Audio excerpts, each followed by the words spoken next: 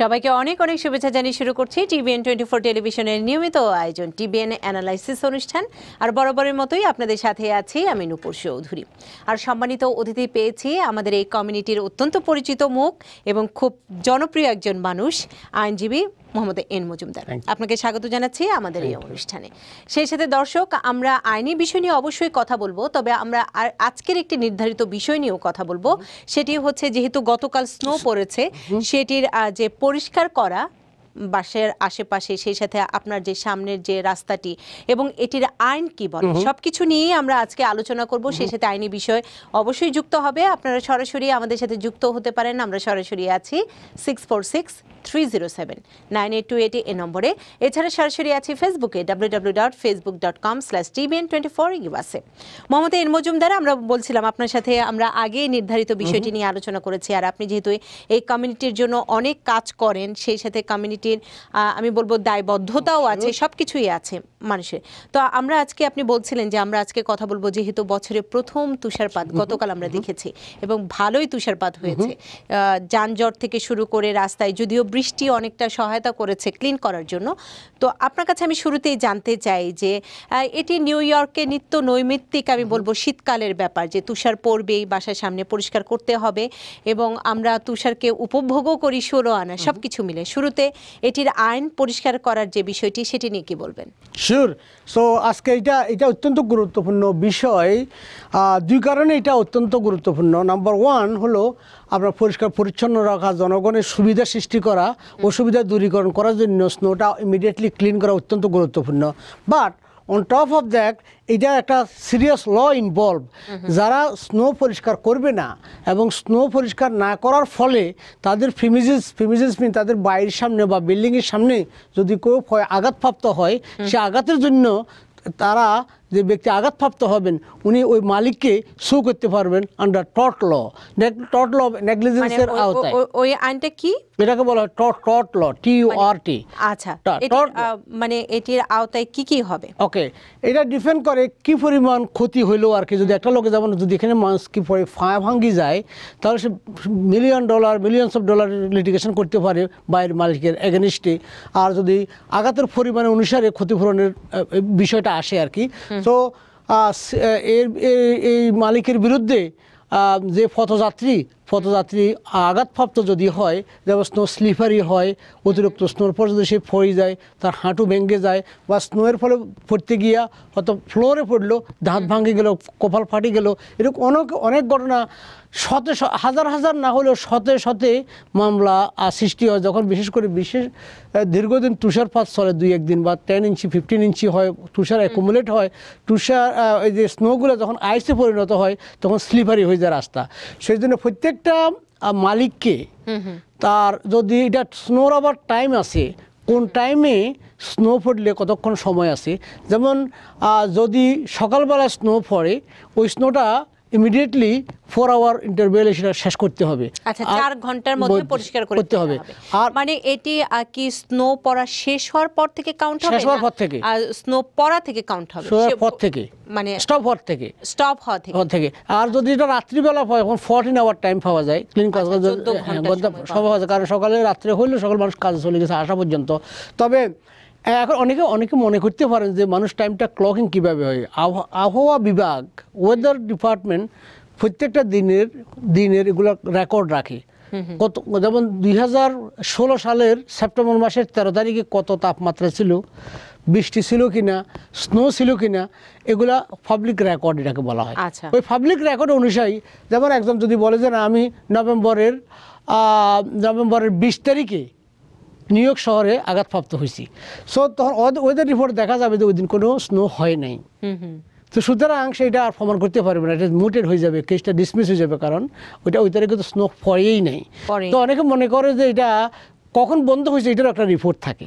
আচ্ছা। কখন স্নো শুরু হলো ওটার একটা পাবলিক রেকর্ড থাকে। কখন বন্ধ হয়েছে এটার পাবলিক রেকর্ড থাকে। সেজন্য যদি কেউ পড়ে পড়ার জন্য ওদের নির্ধারিত টাইমের ইন্টারভেল যদি নাও পড়ে যেমন স্নো পড়াকালীন কেউ আঘাতপ্রাপ্ত হয়েছে সিরিয়াস আঘাতপ্রাপ্ত হয়েছে বা কজ অফ অ্যাকশন হবে না কেস করা যাবে না। কারণ ওইটা এক্সকিউজ কারণ মালিককে এনাফ টাইম দিতে হবে এটা ক্লিন করার জন্য। মানে যেমন আপনি স্নো শুরু হয়েছে দুই তিন ঘণ্টা পরে অনেক স্নো হয়ে গেছে। ওই সময় সবার দায়িত্ব প্রিকশন নিয়ে চলা। তো ওই সময় যদি আপনি আঘাতপ্রাপ্ত হন unfortunately there is no cause of action এটা মালিককে আপনি দায়ী করতে পারবেন না মানে অনেকগুলো বিষয় জড়িয়ে আছে। তবে আপনার কাছে আমি জানতে চাই যে আহ, সাধারণত আমরা জানি নিউ ইয়র্কে যে আমার বাসার সামনের যে ফুটপাত মানে ফুটপাত মানে হচ্ছে আমার সামনের রাস্তাটুকু আমাকে পরিষ্কার করতে হবে। এটির কি কোনো নির্দিষ্ট নিয়ম আছে যে আমার বাড়ির আঙ্গিনা থেকে কতটুকু এলাকা জুড়ে আমার পরিষ্কার করতে হবে? প্রত্যেকটা বাড়ির সামনে একটা লাইন থাকে এটা প্রপার্টি লাইন প্রপার্টি লাইন হলো সাইড ওয়াক থেকে রাস্তা পর্যন্ত। আচ্ছা। আপনার সাইড ওয়াক আপনি ক্লিন রাখতে হবে। এটা যেমন যে পর্যন্ত রাস্তা আছে। মানে আমার প্রপার্টি যতটুকু ততটুকু আমার প্রপার্টি না আপনার property plus sidewalk sidewalk until the street street পর্যন্ত। আচ্ছা মানে স্ট্রিটের কার স্ট্রিটের কার পর্যন্ত। সেটি করতে হবে। তো আপনি বলছিলেন যে একটি নির্দিষ্ট সময়সীমা আছে এবং সেটি সবারই দায়বদ্ধতা আছে যে সচেতন ভাবে চলাফেরা করার জন্য। তো আরেকটি বিষয় ওই আইনটি নিয়ে আমি আরও জানতে চাই যে এ ধরনের অভিযোগের প্রেক্ষিতে যে মালিক পক্ষ যদি কারও কেউ সু করা হয় তাহলে কি কি ধরনের জরিমানা হতে পারে কিংবা তার দায়বদ্ধতা? হ্যাঁ জরিমানা হইতে পারে এরকম এটা ডিপেন্ড করে কতটুকু ক্ষতি- ক্ষতি ক্ষতিগ্রস্ত হয়েছে কত বল লিটিগেশন হবে। এখানে দেখা যায় million dollar couple of million dollar litigation হইতে পারে। তো সাধারণত বাইরের মালিকদের যে ইন্স্যুরেন্স থাকে ওই ইন্স্যুরেন্স ওটা কভার করে। যাদের ইন্স্যুরেন্স নাই তারা ব্যক্তিগতভাবে দায়ী হয়। আর যদি লিটিগে যদি আঘাতের ক্ষতির পরিমাণ অনেক বেশি হয় যেমন এক বাইরের ইন্স্যুরেন্স সে এনাফ না অন্য বাড়িতে গিয়ে এটা এফেক্ট করে।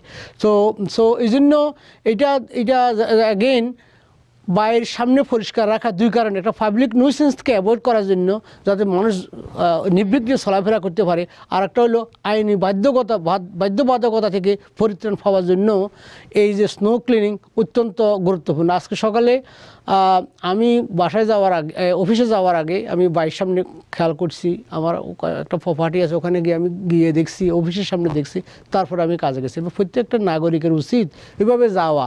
এবং এখানে সবচেয়ে বড় সমস্যা হয় অনেকে উইন্টার টাইমে বাইকটা ট্রেনের হাতে রাখিয়ে দেশে চলে গেছে। তো দুই তিন মাস আপনি দেশে রয়েছেন দুই তিন মাসের ভিতরে কেউ ফটছে ফরিয়া কেস করছে কেসের মামলা আসার পর দেখলেন যে কেস হয়েছে। আসার পরে অনেক সময় কেসগুলো করতে করতে কাগজ আসতে সময় লাগে।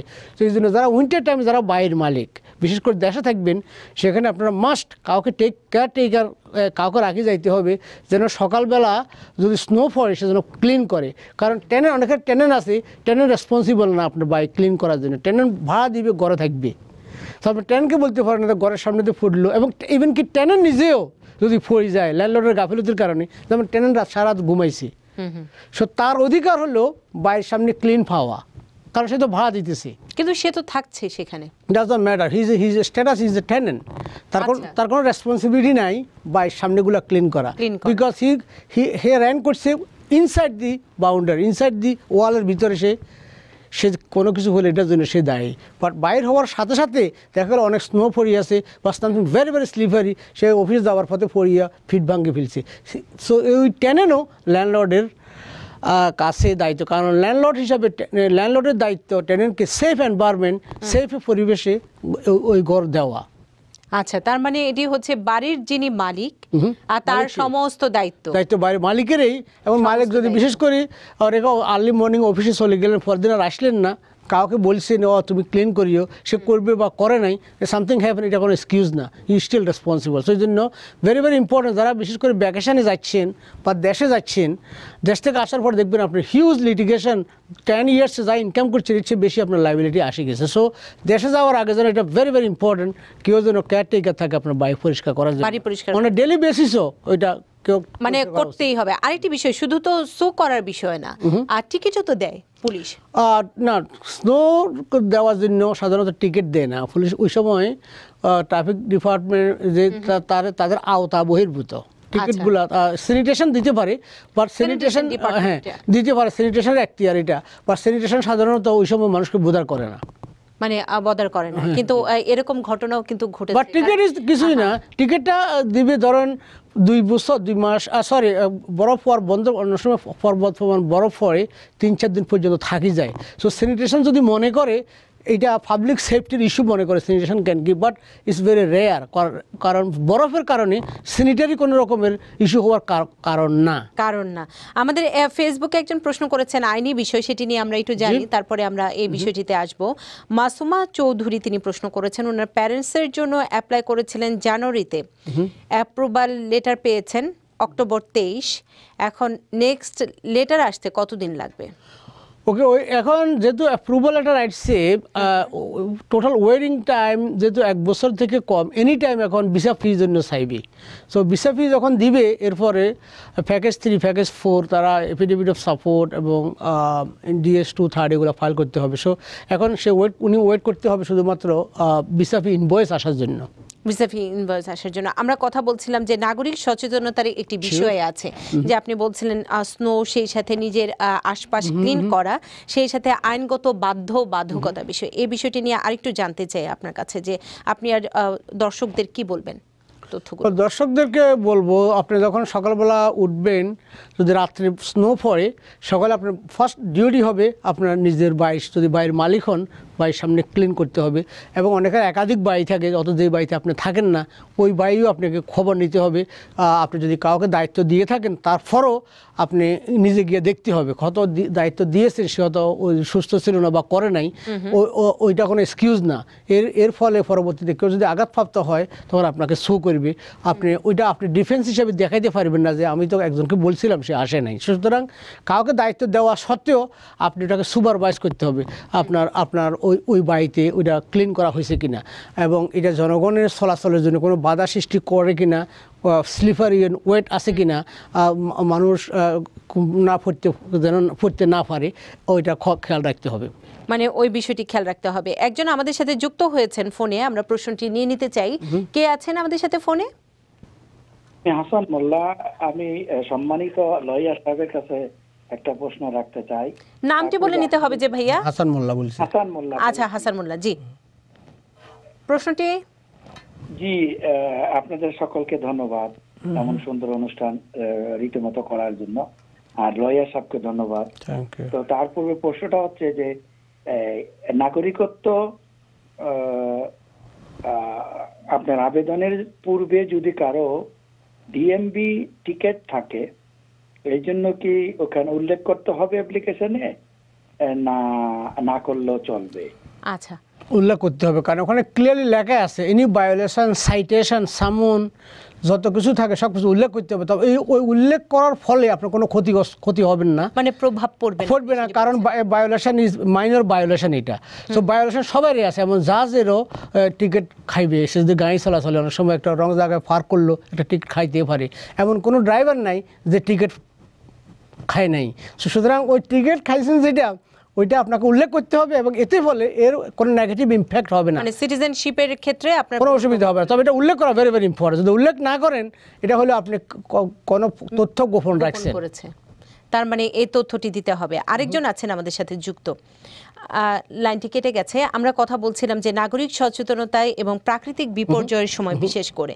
সেই সাথে তো আমরা অনেক সময় দেখি যে মানবিক একটি বিষয় কিন্তু এর সাথে জড়িয়ে আছে। এই বিষয়টি নিয়ে আপনার কাছে জানতে চাই যে আমরা অনেক সময় দেখি যে পাশের মানুষটি হয়তো বৃদ্ধ। তারা হয়তো যে সিনিয়র সিটিজেন দুজন মানুষ বসবাস করেন। তাদের হয়তো সেই সক্ষমতা নেই যে তুষার পড়ার পর এসে পরিষ্কার করা. কিন্তু আমরা তো আশেপাশে অনেকেই থাকি যে সহায়তার জায়গাটি করে। এখানে হয়তো সেই কালচারটি আছে তারপরও আপনি যদি একটু এখানে এটা এখানে এটা যেমন আমাদের ব্লকে শান্তিয়াগো নামে একজন থাকতো সে রিসেন্টলি কয়েক বছর আগে সে মারা গেছে। তো ওই ওই আমাদের ব্লকে সবাই ওর বাড়িটা ক্লিন করে দিত। সো এখানে এটা এটা ভেরি ইম্পর্টেন্ট যদি আপনি আপনি শারীরিকভাবে অসুস্থ হন অথবা বিশেষ করে যাদের হার্ট পেশেন্ট আপনার উচিত হবে আপনার সারাউন্ডিং বাই কয়েকজনকে বলে রাখা যে, ভাই, আমি তো অসুস্থ আমার সাধারণত মানুষ হেল্প করে। এছাড়া বরফ পড়া যখন শুরু হয় বা শেষ হয় ওই সময় দেখবেন অনেকে এখানে অনেক ছেলেরা শাবল নিয়ে আসে যে আমরা ক্লিন করতে চাই। আমি ওদের সার্ভিস ইউজ করি অলওয়েজ করি এই জন্য দুদিকে যেমন ছেলেরা আগ্রহ করে আসলো ওরা টোয়েন্টি ডলার পাইলো। অ্যাট দি সেম টাইম আপনারও একটা সার্ভিস পাইলেন এবং ইটস ভেরি ইম্পর্টেন্ট আপনি প্রতি বছর শুনবেন কিছু লোক মারা যায় স্নো সাবলিং করার সময়। কারণ ওই সময় অত্যন্ত ঠান্ডা এবং যাদের হার্ট উইক ওরা কোনো অবস্থাতেই স্নো সাবল করা ঠিক না। অনেক ডাক্তাররা বলেছেন, অনেক সেমিনারে আমরা শুনেছি এবং আমি আবার সবাইকে অনুরোধ করি, যাদের বয়স সিক্সটি বিশেষ করে যাদের হার্ট হার্ট ফেশন বা শারীরিকভাবে দুর্বল আপনি সাবল নিয়ে ক্লিন করতে যাবেন না অন দ্য স্পট লোক মারা যায়। ওদের জন্য বেস্ট হবে আপনার ছেলেরা আছে ছেলেদেরকে নেন। আমি আমার ছেলেকে সেভেন এইট গ্রেড থেকে ওই দায়িত্ব ওকে দিই আমি। যে সকালে উঠে এবং সেও জানে সকালে সকালে উঠে সে সাবল দিয়ে ক্লিন মানে সেই জায়গাটি ডিস্ট্রিবিউশনের রাইট ছেলে বা ইয়ং ছেলেদেরকে দিবেন যদি ছেলেরা করতে না চায় বা না পারে বা অফারও হয় আরও ভেরি ইজি হলো জাস্ট ফাইভ টোয়েন্টি ডলার অনেক লোক হাঁটাচলা করে তাদের সহায়তা নিয়ে আমাদের অপেক্ষা করছেন ফোনে আমরা. প্রশ্নগুলো নিয়ে নিতে চাই। কে আছেন আমাদের সাথে যুক্ত? ফোনে কে আছেন? নামটি বলে এবং আহ, প্রিয় দর্শক অবশ্যই টেলিভিশনের ভলিউমটি কমিয়ে নেবেন এবং স্পিকারটি বন্ধ করে নেবেন। ফোনে কে আছেন আমাদের সাথে? জি আমি রাজ বলছি। হ্যালো শুনতে পাচ্ছি। প্রশ্নটি ভাইয়া? আহ, আমি রাজ বলছি ব্রুকলিন থেকে। আচ্ছা আমি এই কন্ডিশনাল পাসপোর্ট কন্ডিশনাল গ্রিন কার্ডে কি আমার বাবা মাকে আনা যাবে? Conditional green card conditional green card green card হইলেও আপনার মা বাপকে অ্যাপ্লাই করতে পারবেন না until you become a citizen citizen জি। সাধারণত গ্রিন কার্ড দিয়ে স্পাউস আর বাচ্চাদের জি জি জি জি। এন মজুমদার। জি, জি। ভাই জি। মানে আপনি সিটিজেন হওয়ার পরে আপনি আহ, এই জায়গাটিতে আপনি আপনার বাবা মার জন্য আবেদন করতে পারবেন। আরেকজন আছেন আমাদের সাথে যুক্ত। কে আছেন ফোনে হ্যালো আপু সালাম আলাইকুম ওয়ালাইকুম আসসালাম। নামটি জি, বলে নিতে হবে? আমি একটা কোশ্চেন করতে চাচ্ছি। আমি কুইন্স থেকে বলছি আমার নাম শারমিন আচ্ছা আপা। জি আমি ওই সিটিজেনশিপের জন্য আমার ফিঙ্গার প্রিন্ট হয়ে গেছে। কিন্তু বাট জুলাই মাসে আঠারো তারিখে আমি ফিঙ্গার প্রিন্ট হয়েছে। তো কতদিনে দু মাস না তিন মাস কতটা সময় লাগবে আমাকে ইন্টারভিউর জন্য ডাকবে সিটিজেনশিপের ইন্টারভিউ আচ্ছা পরে কতদিন পর? ফিঙ্গারপ্রিন্ট হওয়ার পরে আপনাকে ওই ফিঙ্গারপ্রিন্ট যে আপনার নেওয়া হলো ওইটা একটা কারণ আছে যে আপনার ব্যাকগ্রাউন্ড চেক করবে। সো এই এখন এটার টাইমটা বেশি আমরা বলতে পারি না এই জন্য কারও কারও ভেরি কুইকলি চলে আসে। আর আচ্ছা। কারও কারও ক্ষেত্রে কিছুটা লেট হয় কারণ তাদের রিপোর্টটা আসতে এটা কারণ হলো এরকম কারও কারও নাম আছে নামগুলা বিভিন্ন কারণে কমিংগেলিং হয় বিভিন্ন মিক্স আপ হয় কোনো কিছু শো হয়। সো এই কারণে আমরা নির্দিষ্ট নির্দিষ্ট টাইম দিতে পারি না তবে সাধারণত আপনার অ্যাপ্লিকেশনের পর থেকে নয় মাসের ভিতরে আসার কথা unless there is there is a problem আর মেয়েদের ব্যাপারে তাড়াতাড়ি আসে কারণ ওই- ওই ওইগুলা নামগুলো বেশি ক্লিয়ারেন্স কুইকলি হয়। যেমন যাদের নামগুলা মোহাম্মদ আহমেদ রহমান অনেকগুলো very common name common name হওয়ার কারণেই যেমন অনেকের লোক আছে Mohammad Ali. So is is everybody's name কারণ মাঝখান নেমটা ডিফারেন্স যেমন মোহাম্মদ রহমান এভরিবডি নেম মোহাম্মদ রহমান। এই কারণে এয়ারপোর্টে ওদের প্রবলেম হয় এবং ইদানিং Background check। ব্যাকগ্রাউন্ড চেক ওদের প্রবলেম হয় বিকজ এই নামে হাজার হাজার লোকের নাম শো হয়। যেমন কিছু কিছু লোকের নাম আছে লাস্ট নেম এটা কিছুটা কিছুটা ডিফারেন্ট তখন ওই দেখা এবার ইজিলি চলে আসে। যেমন চৌধুরী এভরিবডি ইজ চৌধুরী। মানে অনেকে আচ্ছা কে আছেন আমাদের সাথে যুক্ত? হ্যালো আসসালামু আলাইকুম আপু। আমার নাম সাদিয়া আমি জামাইকা থেকে বলছিলাম। জি সাদিয়াপা আপু আমার একটা কোশ্চেন ছিল। আমার কোশ্চেনটা হচ্ছে আমার আম্মু হচ্ছে গ্রিন কার্ড হোল্ডার সে আমার ছোট ভাইয়ের জন্য ও হচ্ছে মাইনর চাইল্ড দুই হাজার ষোলো অক্টোবর মাসে ওর অ্যাপ্লাই করা হয়েছে।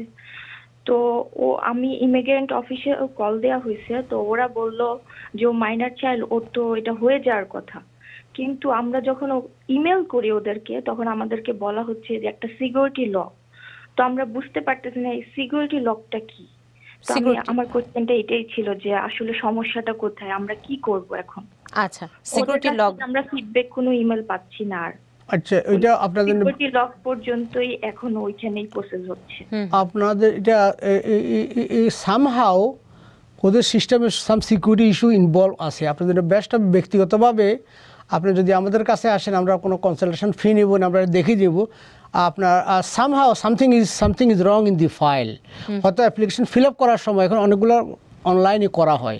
অসতর্কতার বশত কিছু সামথিং আপনি অনেকে যেমন বলা হয় are you in the proceeding তো অনেকে অর্থ না বুঝিয়া ইয়েস আবার না একটা বলে। তো that that that change the whole thing so so এই জন্য ভেরি ইম্পর্টেন্ট শুদ্ধভাবে করা। এটা এটা খুব বিগ ডিল কিছু না যে উকিলে করতে হবে ফর্মগুলো ফেলে এমন কোনো কথা না। দেখা যায় দেখা যায় দেখা যায় যারা যারা সবসময় করে না যেমন কোনো কোশ্চেনের প্রশ্ন উচিত হওয়া উচিত ইয়েস হওয়া উচিত সেখানে যদি কোনো কারণে না দেন এই কারণে that trigger some other question so আপনার জন্য উচিত হবে আপনার এন্টায়ার ফাইল রিভিউ করা পার্সোনালি পার্সোনালি এবং আপনার যাকে পছন্দ প্রফেশনাল কারও কাছে গিয়ে সেই জায়গাটি আপনি করবেন। কে আছেন আমাদের সাথে এই মুহূর্তে? ফোনে কে আছেন? হ্যালো আসসালামু আলাইকুম। ওয়ালাইকুম আসসালাম। নামটি বলে নিতে হবে ভাইয়া। আমার নাম জলাল আহমেদ। আমি মিশিগান থেকে হইয়া জি প্রশ্নটি? আমার ভাই বোনের অ্যাপ্লাই টু থাউজেন্ড ফাইভ এর মার্চের ষোলো তারিখ করছি আমি সব সাপোর্ট টাপোর্ট দিয়ে দিছি। কতদিন লাগবে ইন্টারভিউ ও এখন টু থাউজেন্ড মার্চ, না, এপ্রিল চলতেছে এখন, সুতরাং আপনারটা তো কারেন্ট আপনারটা ওই যে হয়ে যাইব। বাট এখন ফেন্ডিং আছে অ্যাডমিনিস্ট্রেটিভ প্রসেসে যা সময় লাগে। সো অ্যাডমিনিস্ট্রেটিভ সময়টা এরকম। আপনার যদি সমস্ত কাগজপত্র ক্লিন থাকে শুদ্ধ থাকে কোনো প্রবলেম না হয় ভেরি কুইকলি ডাকবে। আর যদি কোনো ভুল থাকে একটুখানি লেট হবে। আবার ভাই বোনদের এ, এগুলা কোটা লিমিটেশন আছে। এমবিসি থেকে যতগুলা যদি কোনো সময় দেখা গেল আপনারটা কল করার একটু আগে দিয়ে কোটাটা শেষ হয়ে গেছে। তখন এনাদের কোটা অ্যালটমেন্ট আসতে একটু সময় লাগে এই জন্য কারও একটু বেশি বা সময় লাগে। সুতরাং আপনি কারেন্ট আপনারটা কোনো অপেক্ষা করতে হবে না। ভিসা অ্যাভেলেবল হলে আপনাকে ডাকবি। ডাকবে। আরেকজন আছেন এরপরে আমাদের বিরতিতে যেতে হবে। কে আছেন আমাদের সাথে? হ্যালো জি নামটি বলে নিতে হবে। আমি মিশিগান থেকে বলছিলাম। জি নামটি ভাইয়া? আমার নাম মুজিবুর রহমান। জি মুজিব ভাই বলুন। আমার প্রশ্ন হচ্ছে আমার আমি ভাই জন্য ভাইয়ের জন্য অ্যাপ্লাই করছিলাম বাই অলরেডি ভিসা পেয়ে গেছে।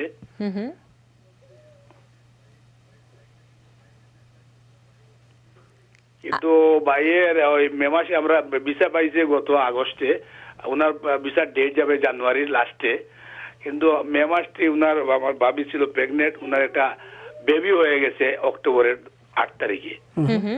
তখন এই বেবিটাকে কি এই সময়ের মধ্যে আনা যাবে? আনা যাবে। বইটা বার্থ সার্টিফিকেট নিয়ে আপনারা ড্রপ বক্সে পিটিশন করতে হবে আর কি। এবং আপনার ওরা হিজ টাইটেল কারণ যেহেতু বাংলাদেশে থাকাকালীন বাচ্চা হয়েছে বাচ্চারা আসতে পারবে। আচ্ছা আসতে পারবে। আরেকজন আছেন আমাদের সাথে যুক্ত। কে আছেন ফোনে? আসসালামু আলাইকুম। আমি মতিউর চৌধুরী মিশিগান থেকে বলছি। জি ওয়ালাইকুম আসসালাম। ভাই প্রশ্নটি? জি জি টু থাউজেন্ড ফাইভে ডেরিভেটিভ বেনিফিশিয়ারি সুতরাং petition is dead petition date মানে আর কোনো মানবিক কিছু ওই জায়গাতে কোনো নট অ্যাপ্লিকেবল কারণ আপনি অ্যাপ্লাই করতে ভাইয়ের জন্য ভাই যখন মারা যায় তখন কোনো কেস থাকে না। তবে পিটিশনার যদি মারা যায় তখন সাবস্টিটিউট স্পন্সর করা হয়। যেমন উনি উনি আল্লাহ না করুক উনি যদি মারা যাইতো ওনার ওয়াইফ বা ভাই ওদের জন্য অ্যাপ্লাই করতে পারত। অ্যাপ্লাই করতে পারতো। আরেকজন আছেন। কে আছেন? আমাদের সাথে যুক্ত। আমরা বিরতিতে যেতে হবে। কে আছেন? প্রশ্নটি নিয়ে যেতে চাই। ফোনে কে আছেন? হ্যালো আসসালামু আলাইকুম। নামটি বলে নিতে হবে আপা আর প্রশ্নটি একটু তাড়াতাড়ি করতে হবে। আমি নাসরিন বলছি ব্রুকলিন থেকে। আচ্ছা নাসরিন আপা বলুন। আমার হাজবেন্ডের জন্য অ্যাপ্লিকেশন করছি আট মাস হয়েছে গ্রিন কার্ড দিয়ে অ্যাপ্লিকেশন করছি। কতদিন লাগতে পারে? আচ্ছা গ্রিন কার্ড দিয়ে গ্রিন গ্রিন কার্ড গ্রিন কার্ডের জন্য। সাধারণত থ্রি অ্যান্ড হাফ ইয়ার লাগার কথা। বাট আপনি যদি ভাগ্যবান ভাগ্যবতী হন অনেক সময় সিটিজেনদের জন্য অ্যালোকেটেড ভিসাগুলো যদি অতিরিক্ত হয় ওই ইয়ারে যদি আনইউজড ভিসা থাকে ওইটা তারা ফার্স্ট কাম ফার্স্ট সার্ভিস বেসিসে ও গ্রিন কার্ড দায়ীদের ক্ষেত্রেও দিয়ে দিই। সেই সেক্ষেত্রে অনেক সময় এক দুই বছর এক এক বছরের ভিতরেও আসার সম্ভাবনা আছে আপনার হাজব্যান্ড বাট ইউজুয়াল টাইম হলো three and half year three and half year আমরা একটা ছোট্ট বিরতিতে যাই। যারা ফোনে আছেন আমরা চেষ্টা করব বিরতির পর এসে প্রশ্নগুলো নিতে। সেই সাথে ফেসবুকে অনেকে প্রশ্ন করছেন। সেই প্রশ্নগুলোর উত্তর দেওয়ার চেষ্টা করব। আপনারা দেখছেন টিবিএন অ্যানালাইসিস সময় হয়েছে ছোট্ট একটি বিরতি নিবার। আবারও আমন্ত্রণ জানাচ্ছি টিবিএন অ্যানালাইসিস অনুষ্ঠানে এবং সম্মানিত অতিথি হিসেবে আইনজীবী মোহাম্মদ এন মজুমদার আমাদের সাথে আছেন। সেই সাথে তার আরও অনেক পরিচয় আছে। এই কমিউনিটির অত্যন্ত পরিচিত মুখ। সব জায়গায় যে সহায়তার হাঁটি সেটিও আছে। ফোনেও অনেকক্ষণ ধরে অপেক্ষা করছেন। আমরা সে ফোনগুলো নিয়ে ফেসবুকে যারা যুক্ত হয়েছেন চেষ্টা করব সেই প্রশ্নগুলোর উত্তর দিতে। কে আছেন ফোনে? ফোনে কে আছেন? জি আসসালামু আলাইকুম। ওয়ালাইকুম আসসালাম। জি আমার নাম রায়হান। আমি ব্রঞ্জ থেকে বলতেছি আমার একটা প্রশ্ন আহ, মজুমদার সাহেবের কাছে আমি জানতে চাই। আমার খালা নতুন আসছে আমেরিকা থেকে তিন বছর হয়েছে উনি গ্রিন কার্ড হোল্ডার। তো ওনার লাইক ওনার মেয়ে একজন আছে দেশে। ওনার নাতি একজন, নাতিন একজন আছে, দেশে ওনার মেয়ের জামাই আছে। তো ওরা মোট চারজন আছে। তো আমার খালা হয়েছে green card green card holder. তো উনি কি এখন অ্যাপ্লাই করতে পারবেন এবং অ্যাপ্লাই করলে মানে কতদিন পরে ওরা আসতে পারবে? কিছু লোক আমাদেরকে বলতেছে যে গ্রিন কার্ডধারী হোল্ডার অ্যাপ্লাই করা যায় না। তো আমার খালা কি ওনার মেয়ের জন্য কি অ্যাপ্লাই করতে পারবেন? থ্যাংক ইউ রাহেন ভাই আপনার প্রশ্নের জন্য। যা করা যাইতো যদি ওনার মেয়েটা আনমেরিড হইতো এবং টোয়েন্টি ওয়ান ইয়ার বয়সের একুশ বছরের কম হইতো। এখন যেহেতু ওনার মেয়ে বিবাহিত মেয়ের আবার বাচ্চাও আছে সুতরাং উনি অ্যাপ্লাই করতে পারবে না। উনি সিটিজেন হয়ে অ্যাপ্লাই করতে পারবে। আচ্ছা সিটিজেন হওয়ার পর আবেদন করতে পারবে। আরেকজন আছেন আমাদের সাথে যুক্ত কে আছেন ফোনে? হ্যালো আসসালামু আলাইকুম। ওয়ালাইকুম আসসালাম। জি আমি আলী চৌধুরী ব্রঞ্জ থেকে বলছিলাম। জি আলী ভাই। আহ, প্রথমত আপনাকে ধন্যবাদ এবং মজুমদার ভাইকে আজকে খুব সুন্দর লাগছে। থ্যাংক ইউ এনিওয়ে আমি আমার বাইর জন্য অ্যাপ্লাই করেছিলাম। তো আমার বাইর একটা ফালক মেয়ে আছে এটার জন্য কি করব? ওকে সো থ্যাংক ইউ এই কোশ্চেনটা অনেকেরই করে। আপনার আপনার ভাইয়ের সাথে আপনার ভাইয়ের ছেলে মেয়েরাই শুধু আসতে পারত। ফালক মেয়েরা অ্যালাউড না। আর সেকেন্ড অফ অল কোনো ফালক মেয়েকে আনতে হলে এগুলা কোর্ট কর্তৃক আপনার গার্ডিয়ানশিপ নিতে হয় এবং বাংলাদেশের গার্ডিয়ানশিপটাও অনেক জটিল, কারণ সাধারণত বাংলাদেশ থেকে গার্ডিয়ানশিপগুলা দেয় না। কারণ প্রসিডিওর হচ্ছে, কাউকে যদি আপনি অ্যাডপশান নিতে হয় অ্যাডপশানটা নিতে হবে এতিমখানা থেকে কোনো আত্মীয় স্বজন বা গ্রামের লোক হইলে হয় না আর কি। তো এই কারণে এই প্রসিডিওরের জটিলতার কারণে অনেক সময় আপনার almost almost every time Bangladesh থেকে গার্ডিয়ান শিফট করিয়া বা ফালক পুত্র ছেলে মেয়ে আনা অত্যন্ত কষ্টকর। তো এই ক্ষেত্রে আপনার এটার সম্ভাবনা খুবই কম। আচ্ছা। কোনো এক্সেপশন আছে কি? পালক বাচ্চাদের আপনি বলছিলেন. কোর্টের থেকে হচ্ছে যেমন আমার মনে আছে একটি অনুষ্ঠানে আপনি বলেছিলেন যে প্রতিটি আইনেরই একটি ব্যতিক্রম আছে। ব্যতিক্রম আছে। না? প্রথম প্রসিডিওর হচ্ছে যেমন আমি যদি বাংলাদেশ থেকে একটা যেমন ইনফ্যাক্ট আমি আমি ট্রাই নিজেও করছি পারি নাই। বাংলাদেশ থেকে আনার জন্য প্রথম ক্রাইটেরিয়া হবে আপনাকে একটা বাচ্চা পিক আপ করতে হবে অরফেনেজ থেকে যেখানে বাচ্চা অ্যাবান্ডেন্ট চাইল্ড বা যেখানে ইতিমখানা থেকে। ওই বাচ্চাটাকে আপনি আপনার অ্যাডপ্ট করতে হবে ফ্যামিলি কোর্ট থেকে। অ্যাডপ্ট করার পরে আপনার দেখাইতে হবে যে দুই বছর আপনি বাংলাদেশে তাকে লালন পালন করছেন। প্র্যাকটিক্যালি তো এই ক্রাইটেরিয়াগুলো মিট করার পরে একটা one type of criteria second criteria হচ্ছে আপনি যে অ্যাডপ্ট করবেন সাপোজ আপনি বলতে অ্যাডপ্ট করে একটা বাচ্চা আনবেন অথচ দেখা গেল বিগত জীবনে আপনি সবসময় মেডিকেট খাইছেন আপনি কোনো একটা মেডিকেল নিজের মেডিকেল আর নিজে দিতে পারেন নাই। তো আর একটা লোককে আনিয়া তার শিক্ষার ব্যবহার ভাই কে ভার কে বহন করবে তার মেডিকেলের দায়িত্ব কে বহন করবে তাকে তাকে প্রপার হাউজিং অ্যাকোমোডেশন কীভাবে দিবেন? শুধু আপনাকে প্রমাণ করতে হবে যে আপনার ঘরে ওর জন্য একটা রুম আছে স্কুল টিউশন কলেজ পড়ার মতো পয়সা আছে মেডিকেল কাভারেজ দেওয়ার মতো ক্ষমতা আপনার আছে। তো এগুলা এবং প্লাস এজ লিমিটেশন আপনার বয়স হইতে হবে ফর্টি ফাইভের নিচে। আচ্ছা। আচ্ছা এখন দেখো যদি বলা হয় আমরা অলমোস্ট এভরিডে কল পাই। একজন দেখা গেলো একজন ডাঙ্কি নিয়ে কাজ করে বা ট্যাক্সি চালায় বা সাধারণ কোনো কাজ করে তার নিশ্চয় তার ট্যাক্স রিটার্নটা অত্যন্ত কম। তারা দু তিনটা বাচ্চা আছে হয়তো এক বেডরুমের ঘরে থাকে বা দুই বেডরুমের কষ্টে থাকে। সুতরাং তার পক্ষে কোয়াইট ইম্পসিবল আর একটা লোককে এখানে আনা। আপনি ওইখানে আনি মেডিকেট খাওয়াবেন এখানে আনিয়ে আপনার পাবলিক লাইবিলিটি হবেন ওটা করতে দিবে না। এটা হলো একটা। আরেকটা পথ হলো ইউএস গভর্নমেন্টের একটা স্টেট একটা হিসাব আছে যে যে তাদের তারা ধরিয়ে নেই যে বাংলাদেশ সহ দরিদ্র গরিব রাষ্ট্র মানুষেরা অলওয়েজ চেষ্টা করে কীভাবে একটা লোক আনা যায়। আসলে এটা অ্যাডপশন না। তো তো যখন আমরা শুনি যে ভাই আপনি কি করেন? বলে বলে এটা কেন? আমি বললে ভাই আপনি যদি না বলেন তাহলে আমি আর ফাদার বলি লাভ নাই। যদি বলে সে he is a doctor he live in Long Island he be huge house bungalow couple of house so he is capable সে একটা বাচ্চাকে বরণ পোষণ দিতে পারবে বাচ্চা মেডিকেল কেয়ার করতে পারবে। সুতরাং আপনার অ্যাবিলিটির ব্যাপার আছে। ওখানকার সুইটেবিলিটির প্রশ্ন আছে লিগাল বাইন্ডিং আছে সো এভরিথিং এর জন্য বেস্ট হবে আপনারা অ্যাডপশন ল ইয়ে আছে এখানে। তা দ্যাট ইউনো তাদের ফি হয় forty thousand dollar thirty five thousand dollar তারা ফি এনে শুধু কারণ it's lot of food work legal work recharge দুই দেশের আইনকে তারা কম্পাইল আচ্ছা, কম্পাইল করিয়া পিটিশন ফাইল করতে হয়। এবং আনার পরে আবার এখানকার স্যারোগেট কোর্টের ইস্যু আছে। সুতরাং it is a very complex issue পর অনেকে নিয়ে আসে এইভাবে। দেখবেন অন্যের ছেলেকে ছেলে মেয়ে করিয়ে নিয়ে আসছে বসাইছে বা কোনো কোনো কোনো কেউ চেক করে নাই বা প্রটেস্ট করে নাই গভর্নমেন্ট এরকম হইতে পারে। But legal procedure is very very complicated এবং অযথা পিটিশন ফাইল করিয়া কিছু টাকা পয়সা খরচ অনেকে করে। আসার পর এতগুলো কাগজ আনে অথচ পিটিশনটা করাই ঠিক ছিল না। আচ্ছা মানে হোমওয়ার্ক কিংবা তার এবিলিটি থাকতে হবে তো স্বাভাবিক যে আপনি নিজেই যদি চলতে না পারেন আরেকটি বাচ্চাকে কীভাবে দত্তক নিয়ে তার ভরণ পোষণের হ্যাঁ, দায়িত্ব নিবেন একজন আছেন মজুমদার ভাইয়া আমরা একটু। প্রশ্নটি নিয়ে নিতে চাই। দুঃখিত আপনাকে থামিয়ে দিতে হয়েছে। কে আছেন আমাদের সাথে যুক্ত? ফোনে কে আছেন? হ্যালো জি নামটি বলে নিতে হবে ভাইয়া। হ্যালো আমি ব্রস থেকে জামাল উদ্দিন। হুম হুম। আমি আসসালামু আলাইকুম। ওয়ালাইকুম আসসালাম। আমি মজু- মজুমদার সাহেবকে একটু প্রশ্ন করতে চাই। জি, প্রশ্ন করুন। আচ্ছা আমার মেয়ের জন্য মেয়ে হ্যালো জি জি বলেন। আমরা শুনতে পাচ্ছি আপনার প্রশ্নটি শেষ আচ্ছা, করতে হবে। আমার মেয়ের আজ এক বছর চার মাসের উপরে ইন্টারভিউ হয়ে গেছে। হুম হুম। আমরা আপনার ফোন করেছিলাম এবং আপনার ইমেল করেছিলাম। তারা শুধু রিপ্লাই দেয় যে আন্ডার প্রসেসিং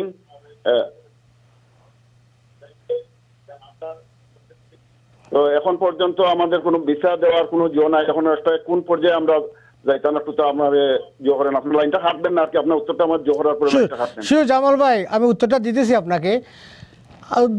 আমি হয়তো মানে আপনি বুঝাতে চাচ্ছেন যে বাংলাদেশে আপনার মেয়েকে ভিসা দিচ্ছে না তারা শুধু অ্যাডমিনিস্ট্রেটিভ প্রসেসিংয়ের কথা বলতেছে ফ্যান্ডিং বলতেছে। যখন অ্যাডমিনিস্ট্রেটিভ প্রসিডিংয়ে কোনো কেস যায় এটা কোনো নির্ধারিত সীমাবদ্ধতা নাই যে কতদিনের ভিতরে করতে হবে। একটা আই ওয়ান থার্টি যখন এখানে ফাইল করা হয় একটা মোটামুটি সময় থাকে কতদিনের ভিতরে এটা হবে। যখন অ্যাডমিনিস্ট্রেটিভ প্রসিডিউর মিনস এটা সরকারের এখতিয়ার।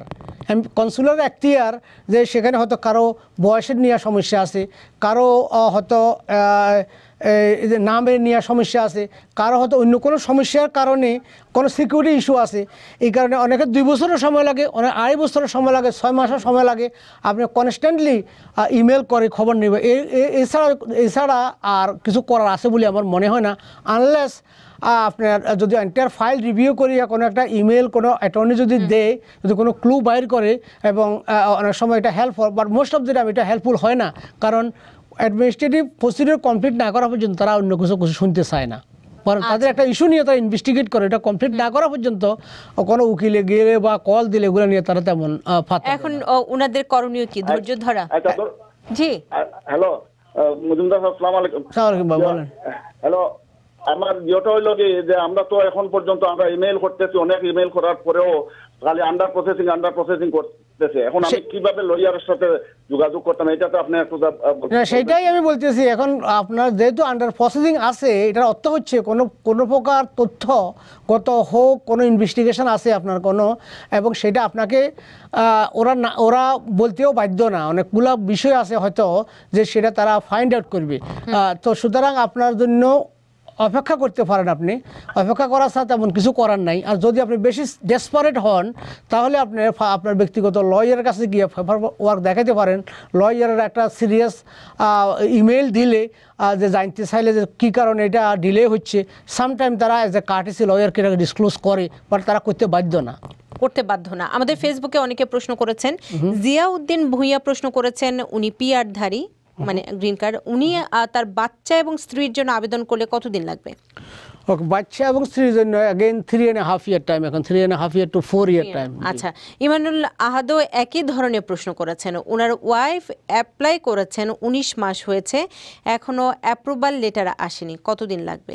সেম সেম আনসার আর থ্রি অ্যান্ড হাফ ইয়ার লাগবে। অ্যাপ্রুভালটা এনি টাইম আসে যাবে। এখন উনিশ মাস যেহেতু হয়েছে তবে ওনার জন্য উচিত হবে খবর রাখা মেইল ঠিকমতো আসছে কিনা। অনেক সময় অ্যাপ্রুভ না হইয়া ওরা ফার্দার ইনকোয়ারি চায় এবং আপনি উত্তর না দিয়া ঘরে বসে আছেন পরে ওরা আবার ডিনাইল ফাটায় তখন আপিল করতে বহু সময় লাগে আবার নতুন করে ফাইল করলে সমস্ত টাইমগুলো শেষ হয়ে যায়। হয়ে আরিফ আশরাফ প্রশ্ন করেছেন ওনার মা অ্যাপ্লাই করেছেন দুই সালের সেপ্টেম্বরে এফ টু বি ক্যাটাগরিতে কতদিন লাগবে? ওনার মা অ্যাপ্লাই করেছেন এটা ওনার মা F2B সিটিজেন এইয়া এফ টু বি ওইটা সময় লাগবে প্রায় অ্যারাউন্ড ফাইভ ইয়ার অ্যারাউন্ড পাঁচ বছর লাগতে পারে। আচ্ছা আপনাকে অসংখ্য ধন্যবাদ জানাচ্ছি এবং সেই সাথে আমরা আজকে কথা বলছিলাম নাগরিক সচেতনতা এবং স্নো পরিষ্কার নিয়ে। সেই বিষয় নিয়ে যদি দর্শকদের একটু বলতেন। সব শেষ। Okay so once again snow পরিষ্কার করা আমাদের নাগরিক দায়িত্ব এবং এছাড়াও একটা আপনার লাইবিলিটিকে থেকে মুক্ত থাকার জন্য স্নো পরিষ্কার করা উচিত এবং যদি কেউ স্নোর কারণে কোনো বিল্ডিংয়ের সামনে কোনো বোদেগার সামনে রেস্টুরেন্টের সামনে যদি কেউ ক্ষতিগ্রস্ত হন কল ইউর লয়ার আপনি অনেক ক্ষতিপূরণ পাবেন এবং আপনার চিকিৎসার সমস্ত ফি পয়সা ফেরত পাবেন কর্ম যদি কাজ যাইতে না পারেন সেটা ফেরত পাবেন সেই সেই টাকাটাও পাবেন। So there is lots of benefit available যদি কোনো কোনো কোনো দুর্ঘটনাজনিত কারণে কোনো বিল্ডিংয়ের সামনে টাওয়ারের সামনে কোনো বাড়ির সামনে যে কোনো স্থাপনার সামনে যদি মালিকের মালিকের গাফিলতির কারণে, স্নো পরিষ্কার না করার কারণে, স্লিপারের রাস্তার কারণে যদি আপনার দুর্ঘটনা কবলিত হন call your lawyer and you can get lots of money as a compensation এবং সে বিষয়টি এবং আশেপাশে মানুষদের দিকেও আমাদের একটু তাকাতে হবে যে তারা ঠিকমতো করতে পারছে. কিনা সহযোগিতার হারটি বাড়িয়ে দিতে হবে। এবং আপনাকে অসংখ্য ধন্যবাদ জানাচ্ছি। সময় করে এসেছেন সেই সাথে দর্শক যারা এতক্ষণ ধরে এই অনুষ্ঠানটি দেখেছেন তাদেরকেও ধন্যবাদ জানাচ্ছি। সোমবার আবারও দেখা হবে একই সময়ে এই অনুষ্ঠানটি নিয়ে। সবাই ভালো থাকবেন।